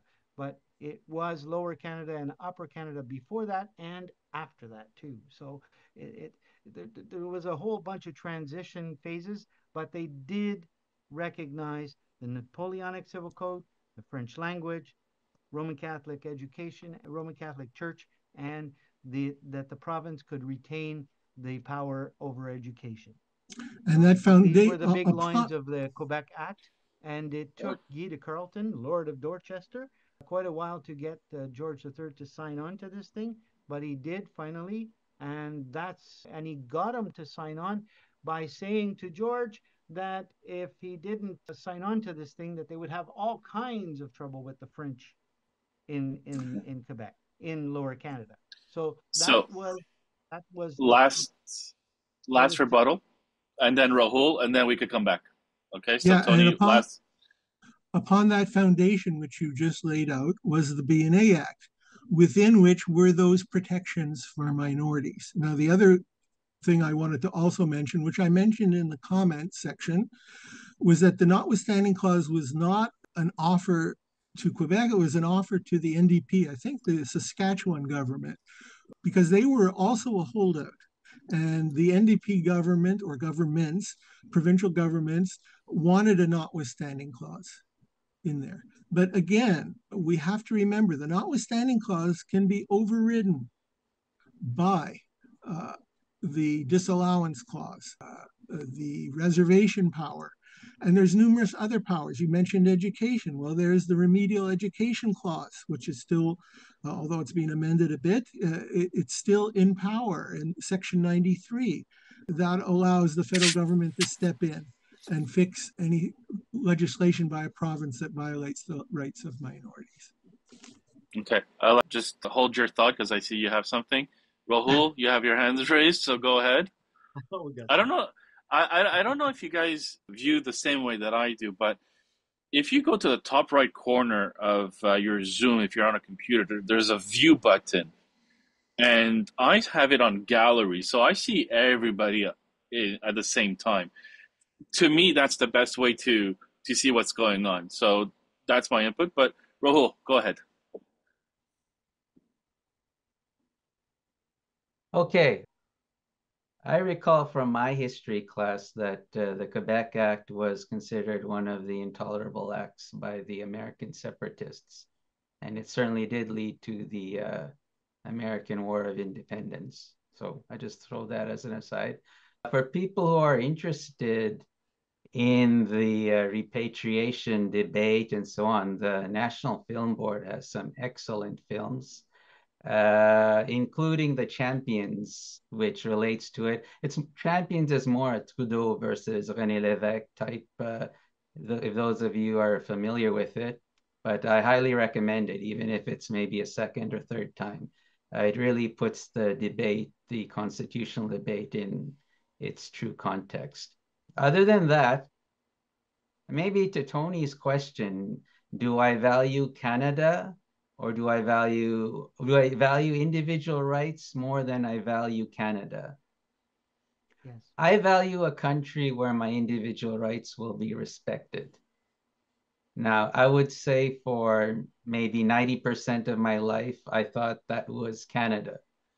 And I would never even think about an independent Quebec. You know, I'd say, geez, you know, I'm going to be a minority. I'm going to be a linguistic minority. I'm already an ethnic minority, so I'm used to that. But I'll clearly be a linguistic minority, and gee, I don't know if what, my place is going to be in that type of society. But as I've seen in the past couple of years, the federal government is not really beyond putting the English speaking community in its place. And it's not restricted to Justin Trudeau. Uh, the conservatives are just as bad, if not worse. The NDP, Alain's NDP, I mean, they are arguably the authors of asymmetrical federalism, Yeah. where they came out and said, yes, I mean, uh, Quebec is different. They need to be treated differently.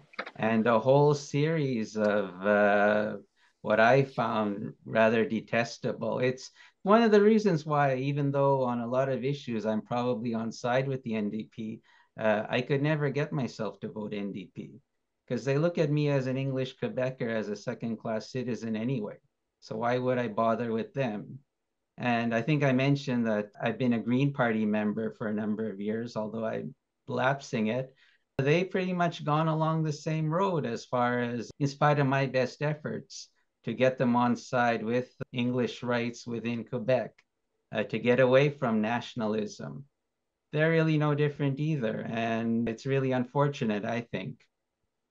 But I'll just go back to my main point of the presentation. It's not to support separatism. It's to open up the debate and say, okay, as a community, in our interests, let's get into the debate. If we shut it off right away, then we have no leverage at all. If this, uh, if what comes to pass, if the PQ somehow from four seats were to form the next government, especially if it's the majority government, then we know for sure we're going to have a referendum. And maybe the polls say 30% or 35%, but it was pretty much that in the lead up to the 95 referendum. And it ended up as 49.2. Arguably, it was on a trick question, but I mean, those are details. So that's it. So, yes, National Film Board does useful stuff. There's some great films. Maybe Alain is already familiar with them, and Tony is already familiar with them. For those of you interested, I highly recommend that you uh, take a look at those films. And uh, okay. that's it for me. So there's two things uh, before uh, Claudia goes next. So first of all, if you could send a list of the films, that that'd be good. I'll send it part of the email, like that people can can see it. And the second thing that I I have to ask everybody to keep in mind is, do not call out people's affiliation to a party or anything like that because we don't know where people stand. And I know that Alain has left the NDP. So, you know, it's not my liberals, it's not my CAQ, it's it's let's just try to keep uh, okay, no, I'll apologize. Separate. I did it in the context of well, who's looking out for us, and that's why I mentioned everyone. You know, I mentioned all the parties at the federal yeah. level. No, no. So I did the, it in the, the so no. So naming... I'll apologize. I'll apologize up front. So Alain, no, no harm meant, no harm intended. Pox on all their all these parties. yeah, it's it wasn't it wasn't the fact that you called out the party. It was just the fact that you associated somebody to that party. Like calling out the party, I understand, but let's keep our associations out of the conversation. Claudia. I just wanted people to bear in mind that as deplorable as the federal government's actions have been in not protecting our community, that it is the Quebec government's actions that are propelling all of this. And although what the federal government did is kind of unforgivable, the reality is if if if we can make a dent on the provincial level, there will be no choice but to make a dent on the federal level. You know, they're kowtowing to what they think happens here. And I think they all threw us under the bus, every one of them. They don't care about our community. They just don't, you know. But I think that if we could become, if we can carry weight within Quebec politically, I think that we have a bit more clout with the federal government too. Right now, we don't. You know, I find so, that um, if, Rahul, if you have, sorry, are you done, Claudia? No, go ahead. Okay, so Rahul, I don't know if you have an answer, but I'll I'll chime in on this one. So the Official Language Act is asymmetrical. The fact that the rest of Canada, the French has not, you know, it's not like people say that we live in a bilingual country, but when a francophone needs to get services in Alberta and Saskatchewan and all that, and they can't, you know, I I I understand where the francophones are coming and saying, okay, that's not fair. I know that C32 slash C13 and Bill 96 were, were done in conjunction. I got confirmation by when I when I was talking to somebody who who was privy to the conversations that were going on. I disagree with the fact that Quebec was able to get away with removing the Anglophone right to, to services and everything. I think that it should have been we should have been the, the, the model to to have across Canada, and we saw that the PLQ just said that I think Mark is Marc Tanguay part of the. He's part of the PLQ, Liberals. right? Not. Yeah, the Liberals, but provincial, right? Yeah. Marc Tanguay Okay. is the interim leader of the Quebec Liberal Party. Yeah. So so when I read him saying, "Oh, you know, I want uh, Canada to be uh, to, to whatever his comment was, uh, francophone by 2050 or majority francophone by 2050," it goes to show that there is a plan. There was a plan, and and this is the plan that they put forward. Um, so there is a conspiracy to to make French better across the across the board, and obviously the federal government has sold us out at that level, and that's why when I when I carry the flag or when I have these meetings, I always have the Quebec flag and just the Quebec flag because that's my that's my my way to protest at what the federal government has done. And it's it's truly unfair that if they want to claim that Canada is a true bilingual uh, country, then it has to be from from the east coast to the west coast, and uh, they should be giving Quebec back all the rights. And if it's to be uh, equal, it has to be. Now, every time that we post things on, on Facebook and for our June 8th event, we have these people that come on and they take a picture of Quebec and they show like what the Anglophone community has in Quebec and they try to compare it to what Francophones have in Ontario. And I say that's the silliest of arguments because the Anglo there there's always been a strong presence of the Anglophone community in Quebec.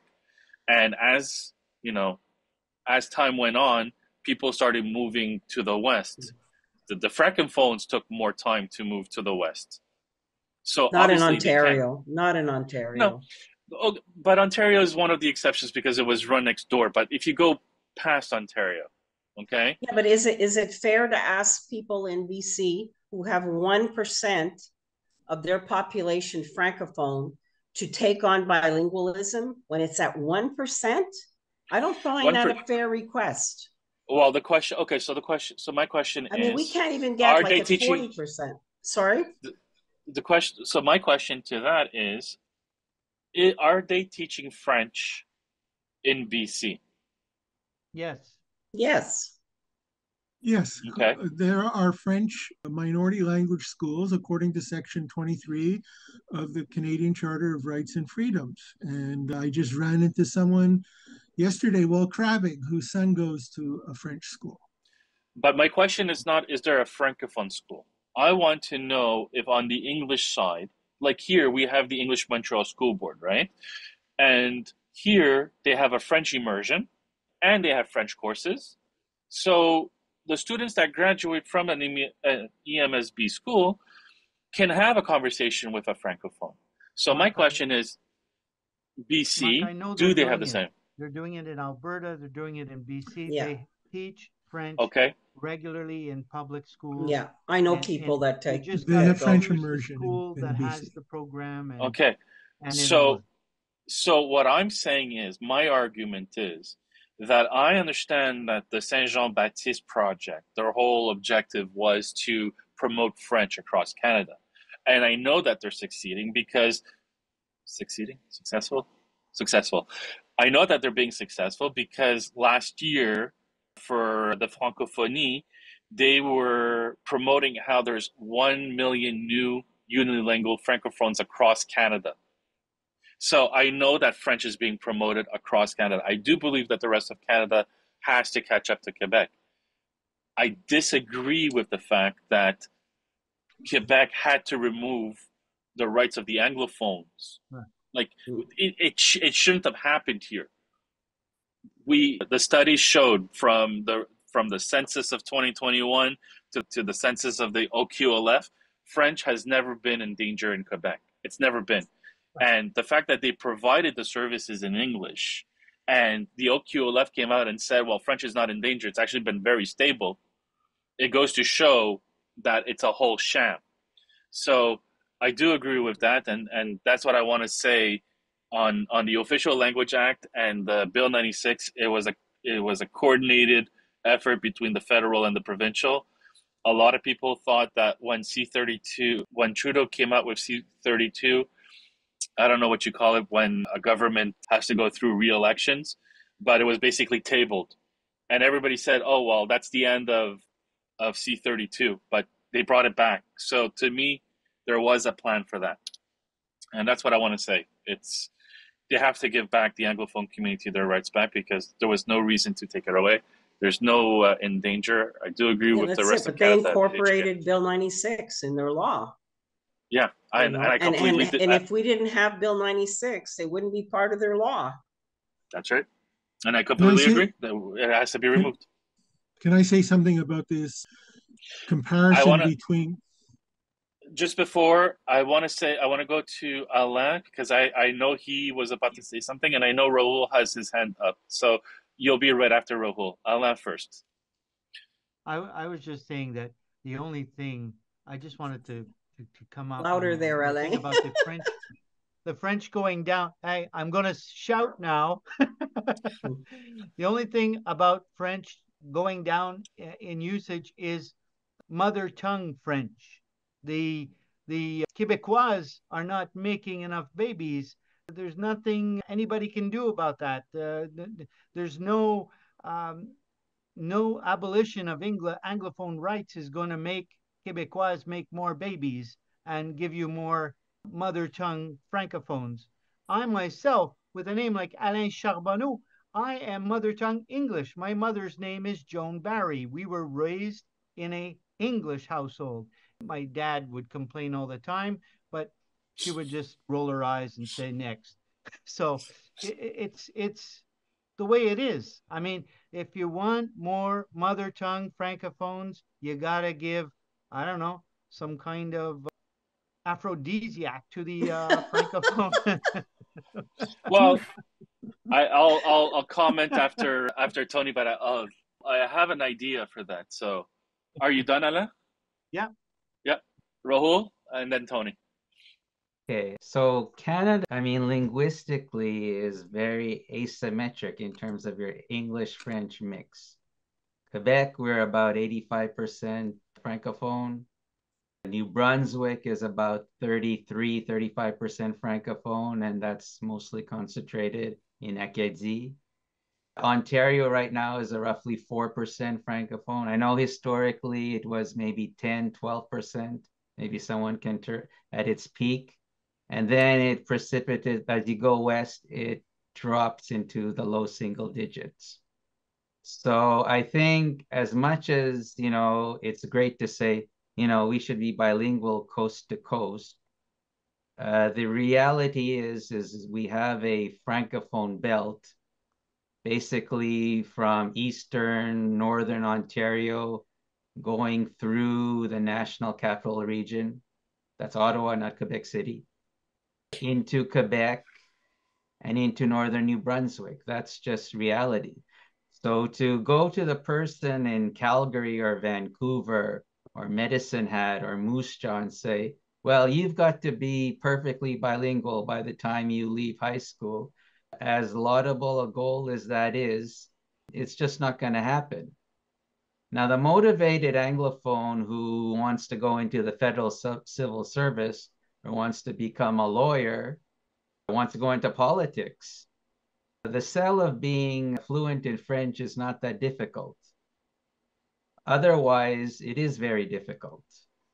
So I think on the whole, though, the federal government over the years has done a fairly decent job, you know, with the Official Languages Act, you know, up to C13. Um, I think they it was a sincere effort to bring francophones into the federal civil service. It was a sincere effort to put French on the same at the parallel of English as an official language in Canada. And we see it in the politicians over the past number of generations. You know, mm-hmm. the prime ministers are almost de facto from Quebec from the late 60s up until Stephen Harper. So I think we should celebrate some of those victories and continue. I mean, we're roughly 18% uh, bilingual or people who self identify as French bilingual, French English bilingual across the country. It's not great, but it's it's a good accomplishment. And I think as we become, you know, more and more globalized, there's a potential for that, you know, being good for the growth of French in Canada. You know, you may have people in Alberta and BC saying, you know, I think I'd like to be bilingual or even trilingual. Yeah, I think I'm going to brush off my high school French. And even if I don't get a chance to use it, maybe I can start a Moitié Moitié club or I can find some more courses or do things online to, to help me with the French language. So, and I speak as someone who didn't speak a word of French before entering primary school. And although I haven't proved it in this particular session, I'm not bad in French. Maybe Mark can attest to that. I don't know. So I'm I'm all for language and I'm all for the learning of language at the individual level and at the governmental and let's say official level. But when it comes down to rights, I mean, you know, the question that Tony, again, I'll refer to it as I close. Do I favor individual rights or do I favor Canada? I would love to have Canada Why as the expression. choose? I would, well, it, it seems that we have to choose more and more No, we because, don't. uh, may I finish, please? Mm. Um, if you're gonna pass bills like Bill ninety-six and BC thirteen, and if the federal government doesn't use its power of disallowance, then if I'm an English-speaking Quebecer, I have to ask questions, if nothing else, which is part of why I made this presentation. So there you go. Mm-hmm. I think that'll be my last word for the night. I will yield. All right. So Tony, and then me, and then Claudia. I wanted to make a comment in response to the discussion about comparing the rights of Anglophones in Quebec to those of Francophones outside of Quebec. Mhm. Uh, and it centers around uh, two concepts critical mass and economies of scale. There's approximately 1 million non Francophones in Quebec, give or take 100,000. 75% of those 1 million non Francophones in Quebec live within a 25 mile radius of Place Ville Marie. Okay. When you have a critical mass of that size, it's easy to have your own universities, your own hospitals, your own uh, social services structure. Francophones outside of Quebec stretch from St. John's, Newfoundland to Victoria, BC. Again, approximately a, a million non Francophones outside of Quebec, give or take 100,000. The province with the highest percentage of Francophones outside of Quebec is New Brunswick, with uh, you know, 35, 40%, whatever it is. The two cities with the highest number of Francophones in New Brunswick are Moncton and Edmundston. And if you've ever driven in New Brunswick, as I have, it takes you five hours to go from Moncton to Edmundston. So you don't have either critical mass or economies of scale for Francophones outside of Quebec. So to make this comparison between the services and the institutions and the infrastructures for Anglophones in Quebec with those of Francophones outside of Quebec is incredibly asymmetrical. Of course, when Mhm. you've got big numbers, it's very easy to have those institutions and structures, which we did in Montreal. If you want to really make a genuine comparison, there's a little fishing village on the north shore of Quebec. Uh, I forget the name of it. Uh, It's close to Newfoundland. That has Blanc Sablon. Blanc Sablon. It has a majority English population, but there's only 3,000 people there. Well, compare the rights of the pe- the Anglophones of Blanc Sablon with the rights of Francophones in Moncton, New Brunswick. The uh, people of Moncton, New Brunswick, the Francophones, have far more rights and institutions and services than do the Anglophones of Blanc Sablon. So it's it's an asymmetrical comparison. That's what I wanted to say. Well said. Cool. So, two things uh, that I wanted to to bring up. I forgot what the second thing is, so I'll go with the first. Regarding to Alain's comment, the the number of babies, wasn't there something in the in, in those days that the more babies you had, the more the government would subsidize or something like that? Yeah, is that is Baby that still in the, yeah? Baby But isn't it is that still in effect or is that complete? Has that been removed? Well, now it's been moved into the family allowance of the families. So when you get to the third and fourth child, your family allowance like really doubles and triples. It, it, it goes nuts. When you get to a fourth child, uh, it's almost a source of revenue. Yeah. They Okay. call it cash crop sometimes. Children are cash crops. I've heard that saying many times. wow. My experience is they cost more than what you get in. Doesn't matter how much they give you. Depends what kind of a parent you are. Well, uh, hey, Yeah. I've been divorced twice, buddy. No, no, no, no. But I mean, I, I've seen, I've seen it where they've been a cash crop, and and and the parent, one of the parents or two of the parents got the money. Anyway, Yeah. I digress. So, okay. So I don't remember what my second thing is. So, Claudia? Just to answer your question, Mark, it had to do with the church. It was their way of playing the population balance, the Mm. revolution of the cradle, it's called Re- revenge of the cradle. or the revenge or whatever. And it was done to increase their numbers because they were afraid that they were going to get outnumbered. And the church didn't want to be outnumbered by Protestants. Yeah. Yeah. So that I, that I understand. So I, I think I remember my second my second statement. The um, it, it's in reference to what Rahul said, where students graduating from from high school or yeah from high school out west have to have perfect bilingual be perfectly bilingual. That's my interpretation of of of what Legault is trying to do and and and Frenchization and stuff like that. Legault says that you know we must be able to communicate, and personally, as long as you can have like a conversation with someone about needing something, exchanging something, and stuff like that, I think that your level that that's the level of proficiency that you need. If you are if you're referring that you know everybody in Alberta has to be able to read a contract in French, get medical services in French, and understand all the the, the French terminology, I think that's pushing it too far. I think I think the goal is that if somebody comes over to your house for like a cup of sugar, for eggs or something like that, there's that there's that form of exchange that could happen. If somebody goes to a store and you know they're asking for the pricing of something or they want a shoe size and stuff, I think that dialogue has to be able to happen. I think that's the level of communication that we need. I I went to five years of, of, of summer school in French because like the grammar and, and the structuring and stuff that, I was shit at it. But I was able to I was able to to speak it. I was able to like they told me like the, the stories that I wrote for my, my my ministerial exams and stuff like that, they were incredible. But you know, I made a mistake writing my own name. So it, it, it is a difficult language and and to to ask people and this is where I, I find the biggest hypocrisy is that students who graduate from the EMSB have a, a better French proficiency than the francophones in the regions.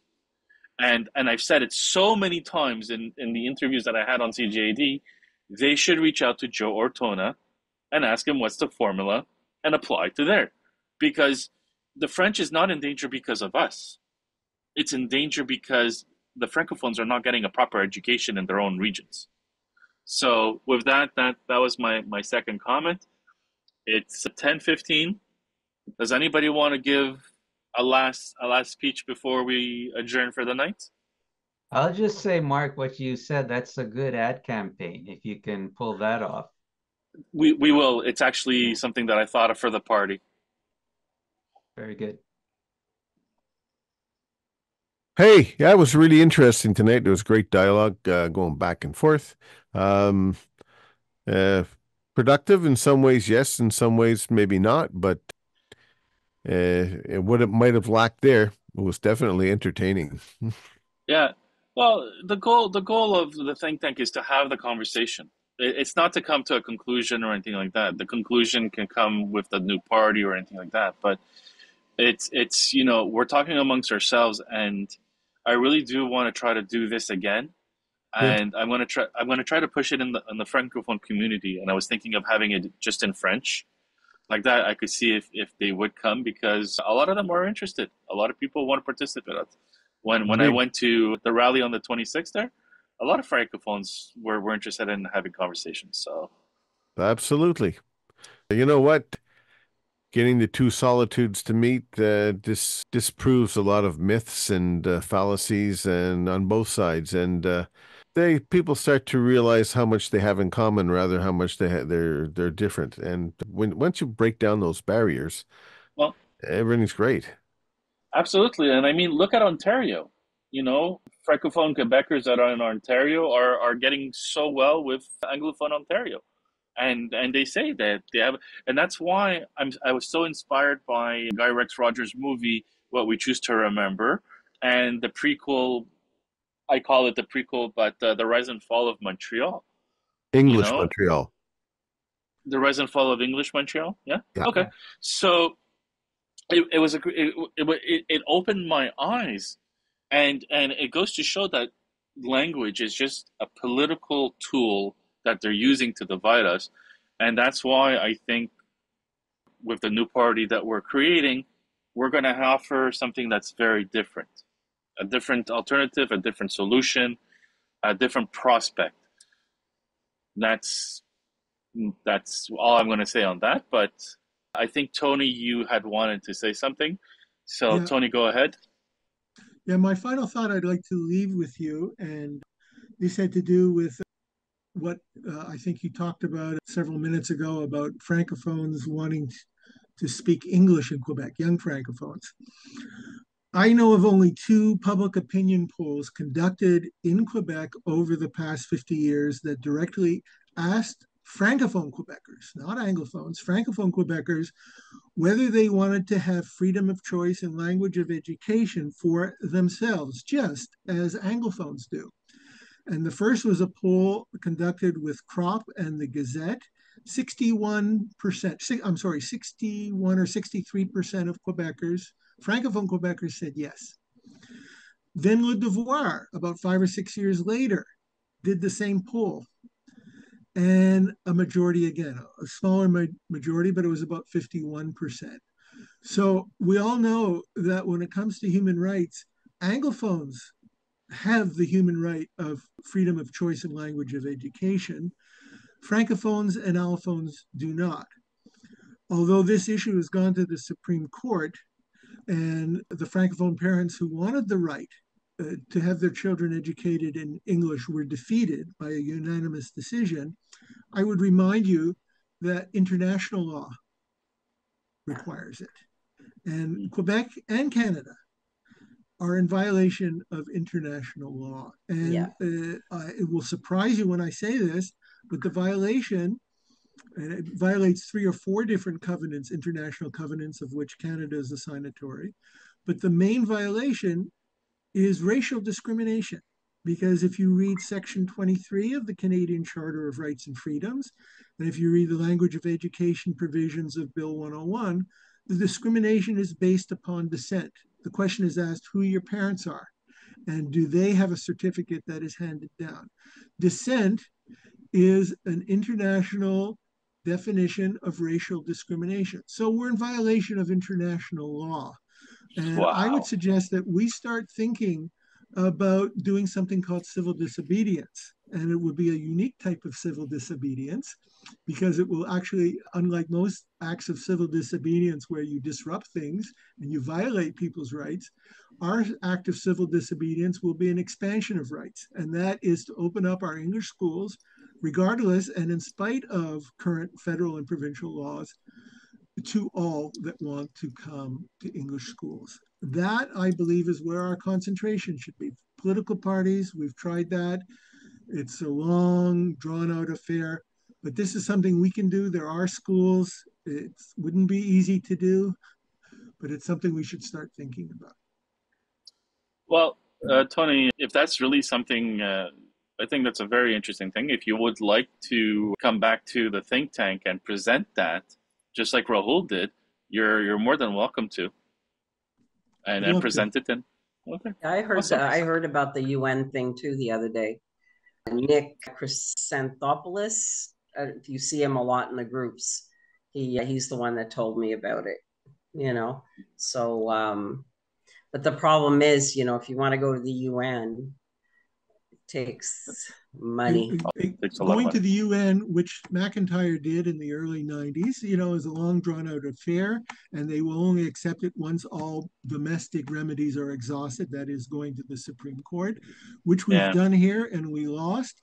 But we could do it either as civil disobedience or just saying it's the law, international law of which Canada is a signatory. By the way, when Canada signs an international covenant, they have to get the permission of the provinces before they do when it impacts provincial jurisdiction. So when Canada signed these covenants, they got Quebec's permission before they did. So we could do it as claiming that it's the law anyways, ha ha ha. And then if people say no, it's not domestic law, we can always say, well, then it's our act of civil disobedience. And the bottom line is francophones want it in the majority. And when it comes to their kids, I don't know any other issue that will get more support than something. for I'm glad. kids. I'm glad that uh, you said that because we have a concept that we're going to be proposing that's gonna that's gonna blow the lid off of everything. Very interesting. Anybody else? Last last word, Allah. Good. No? I'm good. You can't hear me anyways. Thank you for joining us, Tony. Very We hear- we informative. hear. You're well, you're very knowledgeable, I have to say. Thank Yeah. you. Thank you, Tony. Okay, Seth Bye. and Mark. Hey, bye, buddy. So Bye-bye. before Bye, we say good, so before we say our goodbyes, I would like to thank Rahul for taking the time to present tonight for the conversation. It was very lively. Again, we surpassed the one-hour limit. Uh, Is that a new record? A new Parlons du Québec uh, record? I, I think so. I think so. Two and a half hours. Wow. Two and a half hours. Almost. Yeah. So thank you very much, uh, Rahul. We look Oh, forward to, to having you and more. Thank you. And have a good evening, everyone. All right. Thank you, take care. Norberto. All right. Thank you, Time for Norberto. supper here. Good night, night. everyone. Bye. Right. Bye, Norberto. Cheers. Nice seeing you, One hour. Tony. Bon appetit, Tony. Thank you. Bye.